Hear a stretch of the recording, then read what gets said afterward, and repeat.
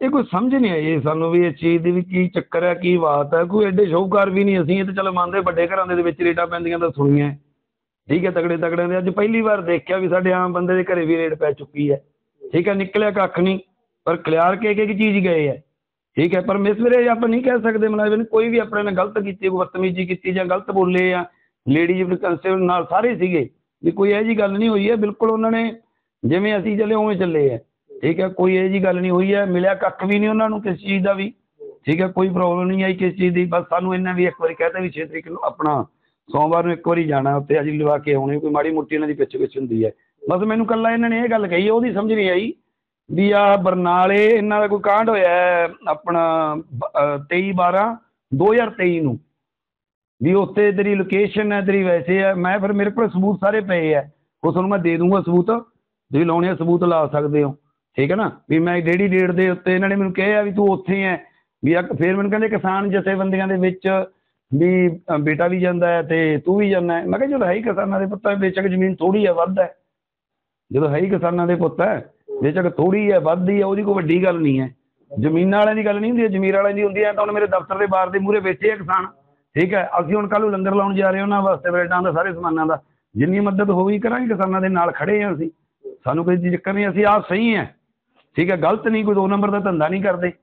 ਠੀਕ ਹੈ, ਇੱਕ ਇੱਕ ਜੇ ਉਹਨੇ ਕਦੇ ਵੀ ਆਪਣੇ ਹੁਣ ਨਾਲ ਬੈਠੇ, ਆਪਣੇ ਪਿੰਡ ਦੇ ਬੈਠੇ ਆ, ਮੁਤਵਾਰੀ ਆ ਬੰਦੇ ਆਪਣੇ, ਸਾਰੇ ਜਿੰਨੇ ਵੀ ਬੈਠੇ ਆ, ਜਿਵੇਂ ਜਿਵੇਂ ਅਗਲੇ ਨੂੰ ਪਤਾ ਲੱਗਦਾ ਨਹੀਂ ਦੀ ਕੋਈ ਛੋਟੀ ਰੇਟ ਨਹੀਂ ਹੁੰਦੀ। ਇਹ ਆਪੇ ਮੰਨਦਾ, ਮੈਂ ਵੀ ਪਹਿਲੀ ਵਾਰ ਦੇਖੀ ਹੈ ਵੀ ਨਹੀਂ ਦੀ ਰੇਟ ਆ, ਮੈਂ ਤਾਂ ਨਾ ਹੀ ਸੁਣੀ ਸੀ, ਇਹਨਾਂ ਦੀ ਸਹੀ ਗੱਲ ਦੱਸਦਾ ਤੁਹਾਨੂੰ।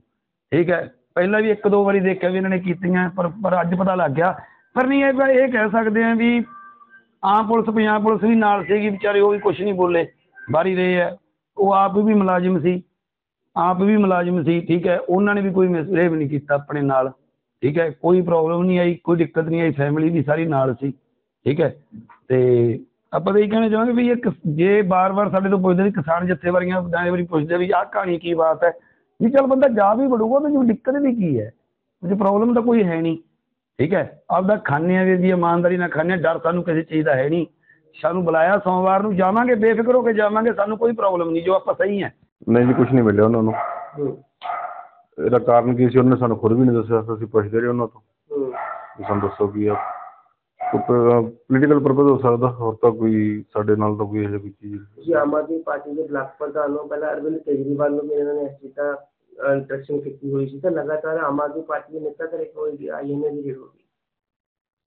ਇਹ ਤਾਂ ਹੁਣ ਉਹ ਦੱਸ ਸਕਦੇ ਆ ਵੀ ਉਹਨਾਂ ਨੂੰ ਕੀ ਡਰ ਹੈ ਕਿ ਆਮ ਆਮ ਆਦਮੀ ਪਾਰਟੀ ਤੋਂ ਕਿਸੇ ਵੱਲੋਂ ਉਹਨਾਂ ਨੂੰ ਇਹ ਪਰੇਸ਼ਾਨ ਕਰ ਰਹੇ ਆ। ਇਹ ਸਰ ਕਿੰਨੇ ਵਜੇ ਤੁਹਾਡੇ ਘਰੇ ਆਏ ਸੀ ਲਗਭਗ ਸਵੇਰ 6 ਵਜੇ। ਤੇ ਕਿੰਨੇ ਵਜੇ ਤੱਕ ਇਹ ਖਤਮ ਹੋ ਗਈ? ਢਾਈ ਤਿੰਨ ਘੰਟੇ। ਜੀ ਤੇ ਘਰੋਂ ਕੀ ਇਹਨਾਂ ਨੇ ਕੀ ਕੁਛ ਸਰਚ ਕੀਤਾ ਹੈ? ਸਾਰਾ ਕਵੜ ਵਗੈਰਾ ਸਾਰੀ ਅਲਮਾਰੀਆਂ ਪੇਟੀਆਂ ਜੋ ਵੀ ਹੈ ਸਭ ਕੁਝ ਇਹਨਾਂ ਨੇ ਖੋਲ ਕੇ ਦੇਖਿਆ। ਹੂੰ। ਫਰੋਲਾ ਫਰੋਲੀ ਕੀਤੀ। ਹੂੰ। ਪਰ ਇਹਨੂੰ ਕੁਝ ਨਹੀਂ ਮਿਲਿਆ।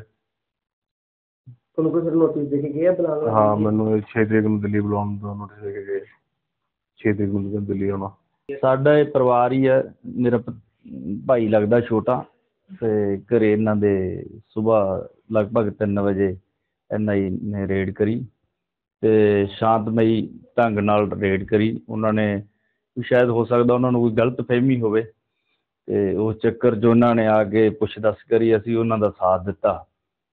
ਤੇ ਉਹ ਸੰਤੁਸ਼ਟ ਹੋ ਕੇ ਇੱਕ ਵਾਰ ਚਲੇ ਗਏ ਆ, ਸਾਨੂੰ ਬੁਲਾਇਆ ਗਿਆ ਉਹਨਾਂ ਵੱਲੋਂ ਸੋਮਵਾਰ ਨੂੰ ਤੇ ਉਸ ਦਿਨ ਅਸੀਂ ਉਹਨਾਂ ਨੂੰ ਜਾ ਕੇ, ਜੇ ਕੋਈ ਉਹਨਾਂ ਨੂੰ ਇਨਫੋਰਮੇਸ਼ਨ ਦੀ ਲੋੜ ਹੋਊਗੀ ਤਾਂ ਅਸੀਂ ਦੇਵਾਂਗੇ। ਕੋਈ ਘਬਰਾਉਣ ਵਾਲੀ ਗੱਲ ਨਹੀਂ, ਅਸੀਂ ਸਾਡਾ ਸਾਫ਼ ਪਰਿਵਾਰ ਹੈ, ਸਾਫ਼ ਸੁਥਰੇ ਸਾਡੇ ਕੰਮ ਨੇ। ਕੋਈ ਅਸੀਂ ਗਲਤ ਕੰਮ ਨਹੀਂ ਕਰਦੇ, ਕਿਸੇ ਗਲਤ ਅਨਸਰ ਨਾਲ ਸਾਡੇ ਸੰਬੰਧ ਨਹੀਂ ਹੈਗੇ।